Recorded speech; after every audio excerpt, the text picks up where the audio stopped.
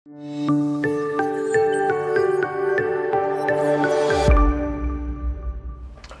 bro, welcome back to my channel Brofik. Masih di sini rumah aja. Ya, kali ini Fonel ngirimin gua dua barang lagi. Ini adalah A73 dan A72. Kita hari ini akan tes hasil kameranya seperti apa. Apakah bagus? Apakah sama kayak A32 versus A33 kemarin yang hasilnya hmm, ya nggak terlalu gimana-gimana juga ya. A52 sama A53 juga kayak biasa-biasa aja. Apakah ini lebih bagus? Apakah berasa upgrade-nya? Kita langsung aja lihat hasilnya. Yuk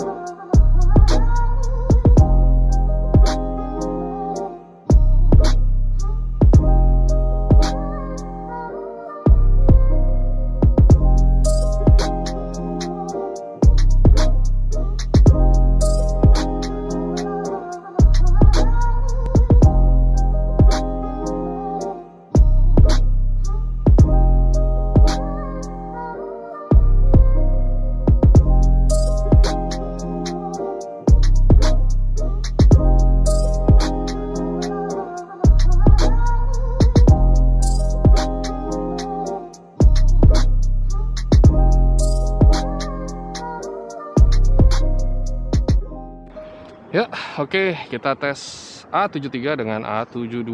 Ini gue lagi ada di apa namanya? apartemen Peak Tokyo Riverside. Peak 2. Oke. Okay. Gua nggak bawa holder, biasa pegangin aja jadi gue lock jari gue biar nggak apa ya, biar imbang lah ya gerakannya. Oke, okay, kalau gitu tes super steady-nya sudah nyala aktif.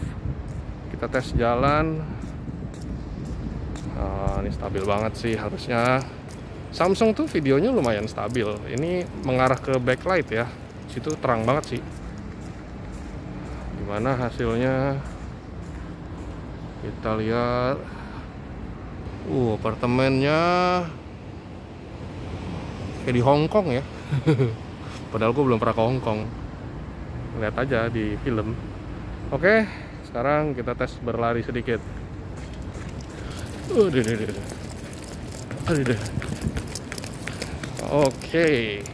Sekarang kita pakai kamera depan. Wah, ini backlight. Kita tes backlightnya seperti apa.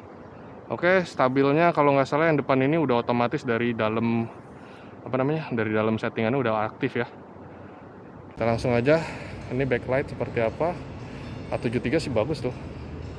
Dia backlight masih tetap dapat A72 kurang. Oke, tes seperti ini mengarah ke matahari. Wah, autonya bagus loh A73 ternyata. Lihat. Wah. Keren juga ya di gedung ini.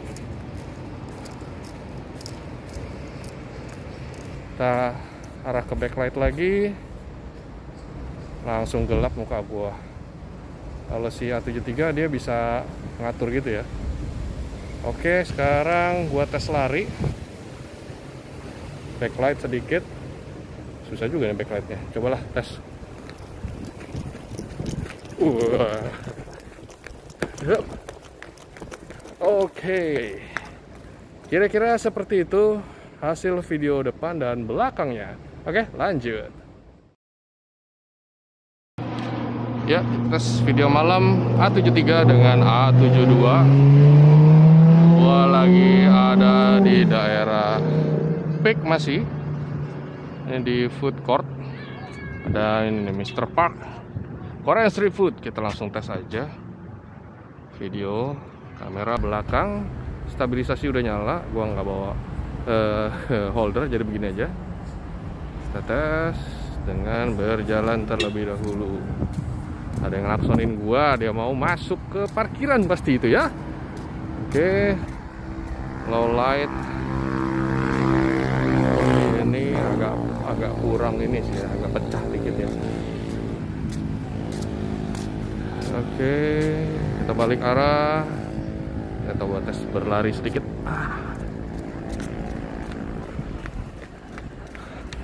Oke. Sekarang kita tes untuk kamera depan.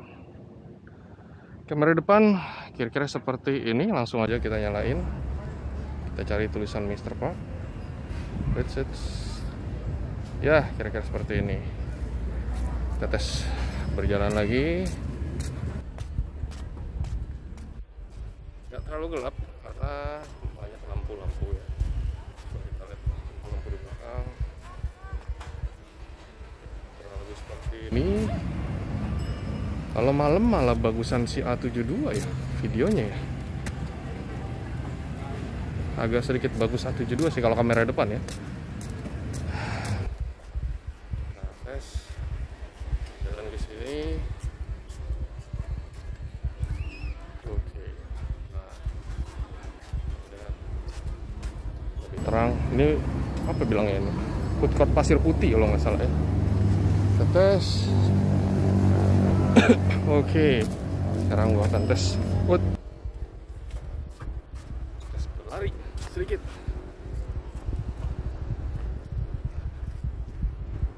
Ya, kira-kira seperti itu. Oke, lanjut. Nah, itu dia. Gimana hasilnya menurut kalian?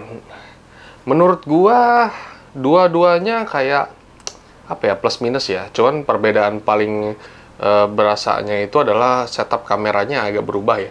Kalau A72 ini kan dia zoomnya itu tiga kali. A73 itu zoomnya dua kali. Jadinya lebih jauh zoomnya si A72 ini.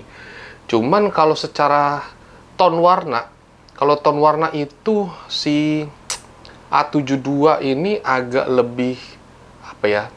Lebih cool ya, bukan uh, ini ya, bukannya apa, bukannya netral ya, agak agak kebiruan ya. Kalau yang ini agak ke uh, bilangnya warm, agak kuning gitu ya. Jadi beda sedikit lah tonnya. Terus kalau secara detail, kualitas uh, plus minus ada yang lebih bagus, ada yang lebih kurang juga. Jadi kadang bagusan A73, kadang A bagusan A72 gitu. Jadi kalau memutuskan yang mana, menurut gua kalau kalian punya A72 nggak perlu-perlu amat sih upgrade ke A73 ya menurut gua. Tapi kalau kalian belum punya, memutuskan mau mau yang mana ini gitu ya handphonenya, A73 sih gue lumayan rekomend sih. Lumayan oke okay, tadi si hasil kualitasnya dan uh, hasil malamnya, wah gila. Foto malamnya, apa low lightnya sih gila banget sih bang Samsung ya. Jadi terang banget gitu. Ya kurang lebih seperti itu sih uh, hasil percobaan percobaan hasil tes kameranya. Tadi gue sekalian pergi ke kantor tadi pagi ya. Jadi ya gitu deh. Kalian lihat sendiri kondisinya seperti apa uh, siang hari malam hari videonya juga seperti apa. Oke lah kira-kira seperti itu. Thank you buat Fonil yang udah pinjemin barangnya. Kalau kalian mau cari handphone lihat-lihat aksesoris bisa lihat di uh, marketplace-nya Fonel linknya gue taruh di bawah. Ada juga uh, link buat apa ya WhatsApp. Jadi kalian bisa WhatsApp ke uh, admin adminnya si Fonel bisa nanya-nanya nanya-nanya barang ini ready atau enggak ada warna apa? Harganya berapa? Kira-kira seperti itu. Oke thank you juga buat kalian yang sudah nonton. Jangan lupa di like share dan di subscribe Terus kalau kalian mau minta handphone apa yang akan di-review, di-review ya bukan minta buat kalian ya. Di-review tinggal info aja di kolom uh, komentar nanti akan gue coba apakah Fonel bisa memprovide produknya. Nanti gue akan tes hasil kameranya seperti apa. Oke, sekali lagi thank you. Sampai jumpa di video selanjutnya. Bye-bye.